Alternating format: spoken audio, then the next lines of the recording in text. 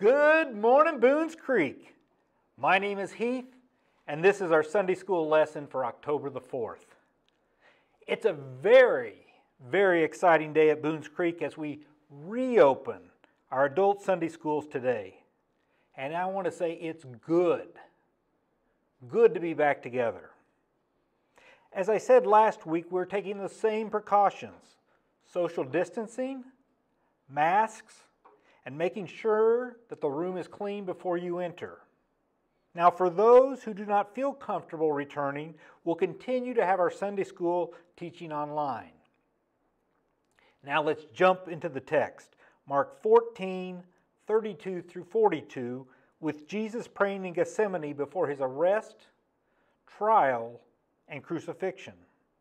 So, open your Bibles or turn on the app on your phone and follow along with me as we continue in our series, The Passion.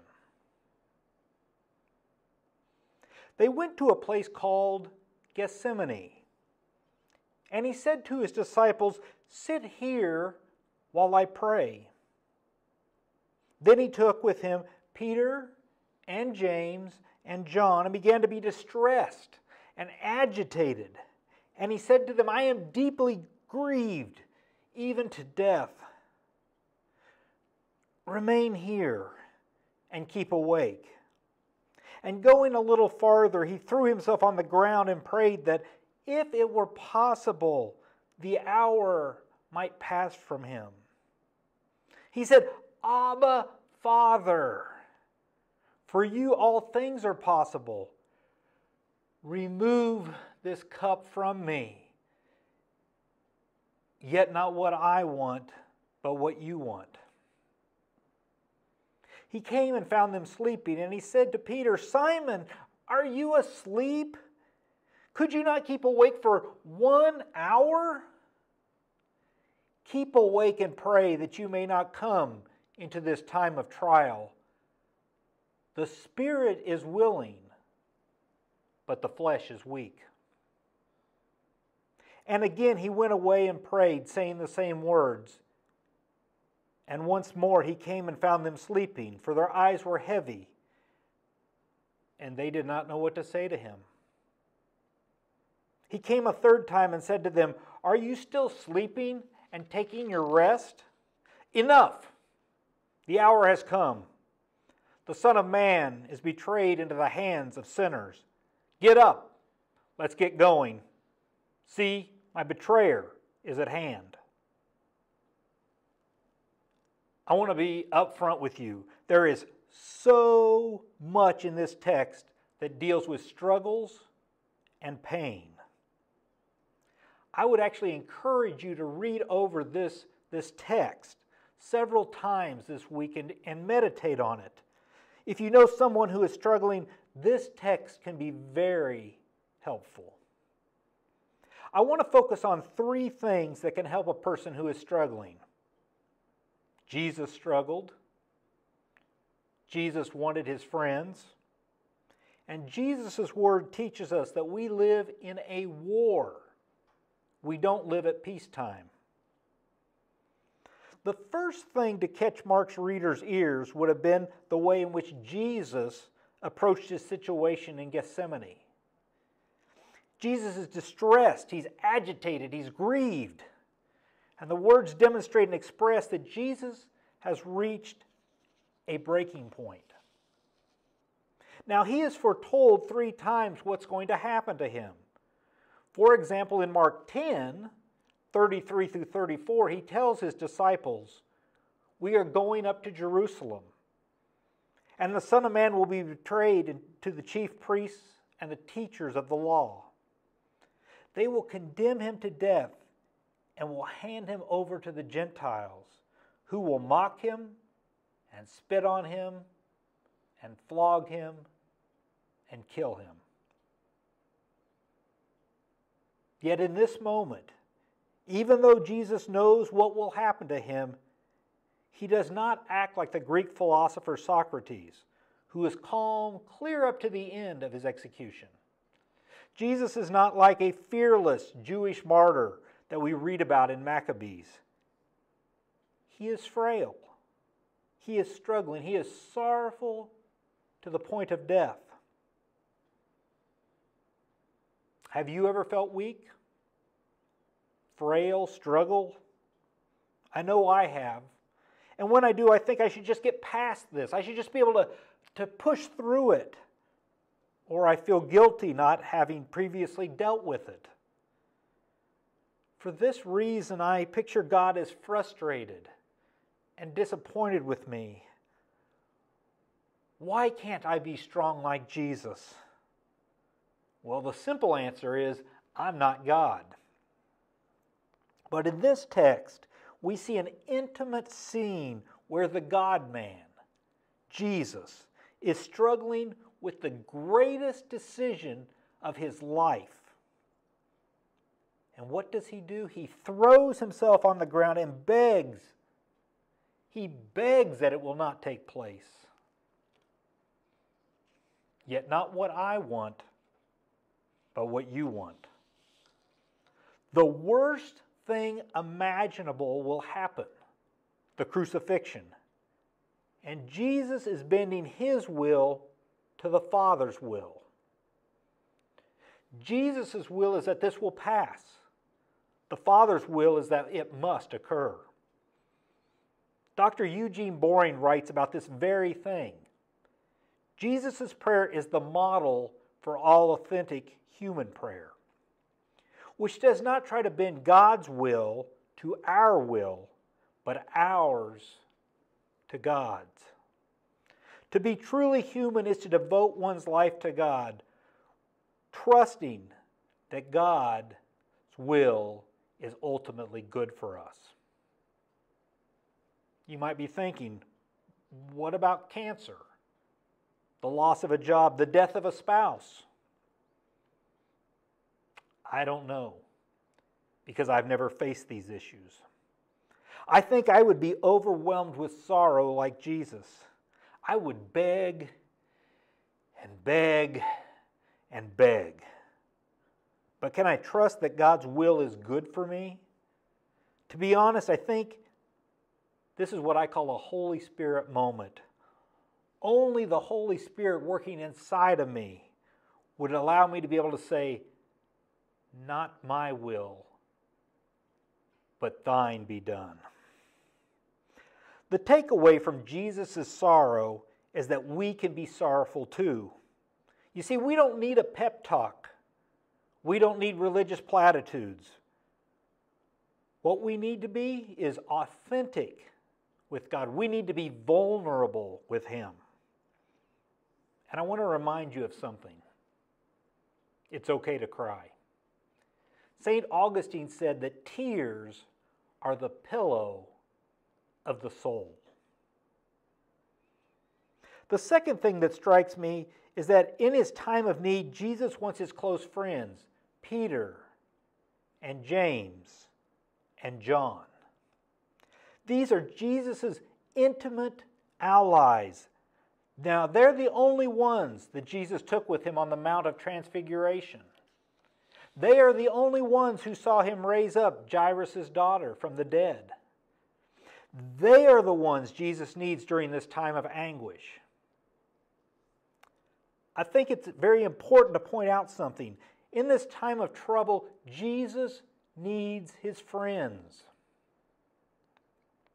The Lord God had already said in Genesis 2:18, "It is not good for the man to be alone. I will make a helper suitable for him." I know. I know this verse refers to a man and a woman in the Garden of Eden. However, I think this applies to Jesus because he's not only fully divine, he is fully human.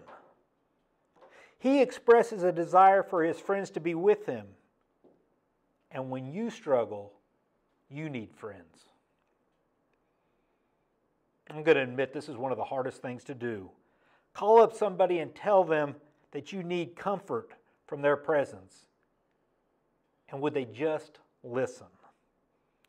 And when your friend comes, I hope he or she is like Job's friends who sit with him in silence in chapter 2 of Job. And when you are ever charged to be that comforting person for someone, don't be like Job's friends who try to explain Job's suffering from chapter 4 through chapter 37 of Job. Be fully present with the person. You don't have to fix things. Especially if you're a guy, you don't have to fix it.